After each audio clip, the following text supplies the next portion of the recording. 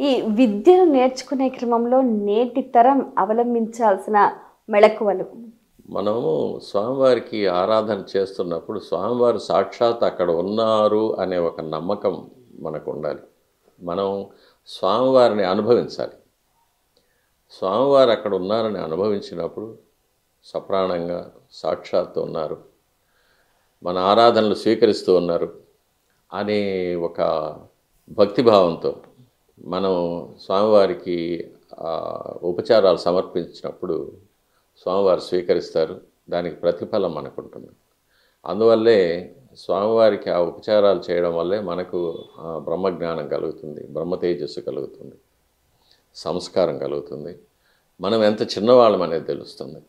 సాక్షాత్ భగవంతుడు అఖిలాండగోడి బ్రహ్మాండ నాయకుడైతే ఇప్పుడున్న సైంటిఫిక్ థియరీ ప్రకారం ఈ విశ్వం అనేది ఎంత పెద్దది? ఇటువంటి అనంతకోటి విశ్వాలను సృష్టించి పాలించి లయం చేయగలిగిన భగవంతుడు ఎంత పెద్దవాడు? మనము ఎంత వాళ్ళం అశాశ్వతమైన ఈ మానవ దేహం ఎంత చిన్నది? మానవ జన్మ ఎంత చిన్నది? మన మేధస్సు ఎంత చిన్నది? మనకు అర్థం చేసుకోగలిగిన శక్తి ఎంత చిన్నది?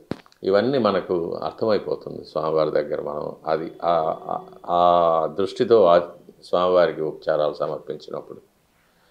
కాబట్టి అది ప్రతి అర్చకుడు అన్వయించుకోవాలి. తాను భగవంతుడికి సేవ చేస్తున్నాడు. అందుకనే పుట్టాడు అందుకనే వచ్చాడు అందుకనే చేస్తున్నాడు.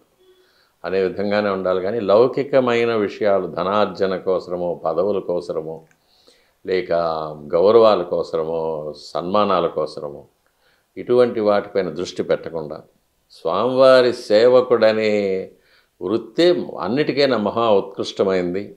దీనికి మించిన సన్మానం అనేది లేదనేది అర్థం చేసుకుంటే అర్చకుడు నిజమైన అర్చకుడు అయిపోతాడు నిజంగానే కనువిప్పు కలిగించారు. తిరుమలలో ఉన్న రహస్యాలు? తిరుమలలో రహస్యాలంటే భౌతికంగా ఏం రహస్యాలు ఏమీ లేవమ్మా. దేవాలయం చాలా చిన్నది సుమారు రెండున్నర ఎకరా చిన్న దేవాలయం. అందులో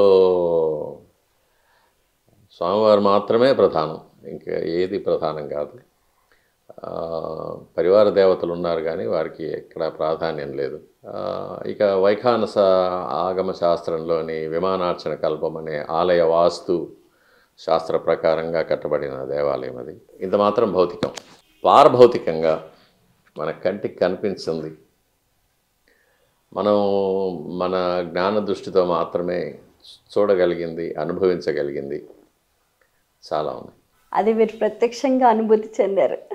అనాదిగా తిరుమల వెంకటేశ్వర స్వామి వారి ఆలయంలో వైఖాన్ సాగమ రీతిగా శ్రీవారికి నిత్య ఆరాధనలు జరుగుతోంది. దీనికి సుమారు రెండు వేల సంవత్సరాల చరిత్ర మనకు తెలిసి ఉంది. అంతకుముందు ఎన్నో వేల సంవత్సరాలుగా జరుగుతూ ఉన్నది ఈ వైఖాన సార్చకులైన మాకు ఆది గురువు గారు వికనసాచార్యులు వారని వారు శ్రీ మహావిష్ణువు యొక్క అపరావతారమని విష్ణు మానసపుత్రులని మహావిష్ణువులాగే చతుర్భుజాలు శంఖచక్రాలు శిఖ యజ్ఞోపవీతం వీటితో నైమిసారణ్యంలో వెలిసి ఆరు నాలుగు లక్షల శ్లోకాలతో వైఖానస భగవత్ శాస్త్రాన్ని అందించి తన శిష్యులైన పరమ భాగవతోత్తములు భృగు అత్రి మరీచి కశ్యపులకు ఉపదేశించి వారి ద్వారా విష్ణువును అన్ని దేవాలయాల్లో అర్చించుకోవడం కోసం నిర్దేశించారనేది మనకు ఆగమశాస్త్రం చెప్పే విశేషం. సాక్షాత్ మహావిష్ణువు యొక్క ఆత్మపుత్రుడైనందువల్ల ఆయన మానవ మాత్రుడు కాదని. అందువల్ల గురుపీఠాలు అవి మాకు లేవు. వైఖానసార్చకులకు అది కాకుండా వైఖాన సాగమంలో సన్యాసాశ్రమం అనేది లేదు. బ్రహ్మచర్యం గృహస్థాశ్రమం వానప్రస్థం ఈ మూడే ఉన్నాయన్నమాట. సన్యాసాశ్రమం లేదు. వానప్రస్థం అంటే ఎలాగైతే పాండురాజు తన భార్యలతో అరణ్యవాసానికి వెళ్ళి నిత్య ఆరాధనలు చేసుకుంటూ మోక్షం పొందారో అది వానప్రస్థాశ్రమం అంటారు. కాబట్టి సన్యాస ఆశ్రమం కానీ గురుపీఠాలు కానీ వైఖానస భగవత్ శాస్త్రంలో ఎక్కడా చెప్పబడలేదు. ఇక మిగిలిన సాంప్రదాయాల్లో గురువులు రామానుజుల వారు కానీ ఆదిశంకరుల వారు కానీ అపరావతారాలైనా కూడా మానవ జన్మ తీసు తీసుకున్నారు కాబట్టి వారు మరణించిన తర్వాత వారు ఏర్పాటు చేసిన పీఠాల్లో ఆ సాంప్రదాయం ఇదివరకు ఇంతవరకు కొనసాగుతూ ఉంది. అది నేను చెప్పదలుచుకున్న విశేషం.